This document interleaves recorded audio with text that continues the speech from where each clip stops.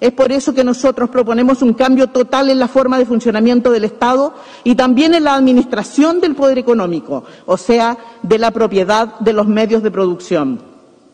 En primer lugar, proponemos disolver las actuales instituciones estatales y reemplazarlas por una única asamblea que concentre todos los poderes y sea organizada de manera distinta, con representantes electos desde sus territorios y lugares de trabajo. Esto no es una novedad, no es un invento nuestro. En Chile, los cordones industriales fueron embriones de poder de la clase trabajadora, con representantes electos en cada fábrica. En Rusia, los consejos obreros y populares, instituciones del poder soviético, eran compuestos por trabajadores electos desde abajo y de forma democrática, sin la influencia del dinero. En segundo lugar, proponemos que todos los representantes políticos puedan ser revocados por sus asambleas de base si no cumplen su mandato y que no puedan recibir más que el sueldo de un obrero calificado. Tercero, proponemos que la tropa de las Fuerzas Armadas tenga el derecho de organización y el derecho a elegir sus representantes.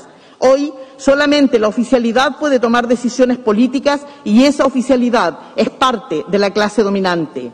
En cuarto lugar, proponemos que ningún sector parasitario de la sociedad tenga representantes en el futuro poder estatal, ni la alta cúpula de la Iglesia, ni los dueños de grandes empresas y especuladores, ni la oficialidad de las Fuerzas Armadas.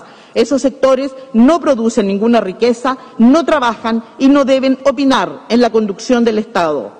Por último, esta propuesta viene combinada a la iniciativa que defenderemos en la Comisión 5, que plantea la socialización de todas las grandes empresas del país, minas, empresas de energía, puertos, bancos, etcétera.